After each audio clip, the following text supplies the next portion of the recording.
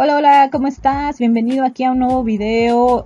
Mi nombre es Alejandra Montes o MO o M, como tú quieras decirme. Estoy para servirte. Y bueno, pues hoy vamos a hacer un tutorial de cómo podemos descargar nuestro recibo de Telmex muy fácilmente. Ok, vamos a abrir aquí una nueva pestaña y vamos a poner en la parte superior de nuestro navegador. En este caso yo estoy utilizando Google Chrome. Vamos a poner telmex.com Vamos a abrir esta nueva página. Es importante que tengas servicio de internet en tu laptop. Ok, y bueno, en lo que se abre esta página, déjame decirte que es importante que sepas eh, que, que Telmex te va a pedir que agregues una nueva cuenta dentro de esta página. Vamos a refrescarla porque se carga un poquito mal la configuración de la página. Ok, le puedes dar a refrescar acá sobre arriba, sobre un como círculo, este que estamos viendo aquí. Se cargar página de nuevo. Y bueno, para ello lo vas a hacer aquí en este botón, donde vas a insertar tu número de teléfono, tus datos y todo. Y ya cuando lo tengas listo, eh, te va a decir que, que llame al número telefónico que tienes registrado. Te va a mandar una clave y simplemente la ingresas y ya vas a tener eh, tu cuenta aquí en esta página. Es importante que lo hagas ya que sin ella no vas a poder descargar tu recibo de Telmex. Y bueno, para ello ya teniendo nuestro registro, vamos a ir aquí sobre el botón de mi Telmex. Ok, y aquí ya nos va a colocar nuestro número de teléfono, nuestra contraseña que hemos creado y le vamos a dar en entrar.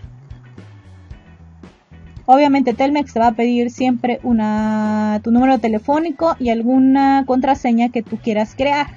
Ok, de este lado pues automáticamente ya te va a abrir una página con tus datos.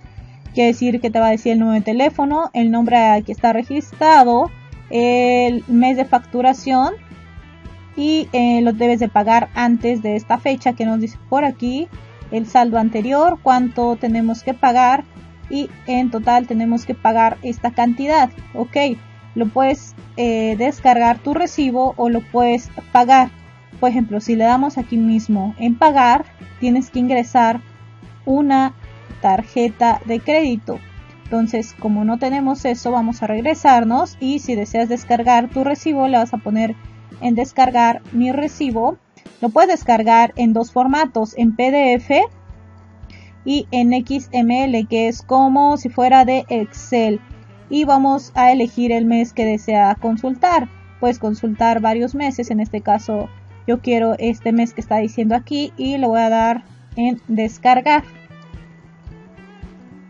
Automáticamente ya me lo está descargando en la parte inferior.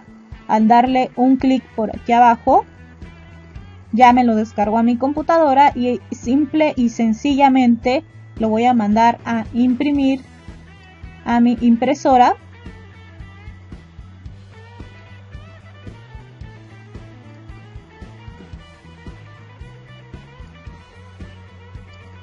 Muy bien y como podemos ver ya que ya tengo mi recibo como el recibo que te envían por correo normal ok y bueno pues ya tiene el, código de barras. Te va a decir aquí eh, el costo de todo lo que se ha cobrado y cuánto es lo que se debe. Ok y bueno cuánto tiempo tenemos para pagar y bueno pues eso es todo lo que tenemos que hacer para descargar nuestro nuestro eh, documento. Y bueno pues espero te haya gustado este tutorial. Mi nombre es Alejandra M y nos vemos en otro tutorial. No olvides de suscribirte y darle like a este video para tener más de nuestro canal. Nos vemos en otro video más. Chau, chau.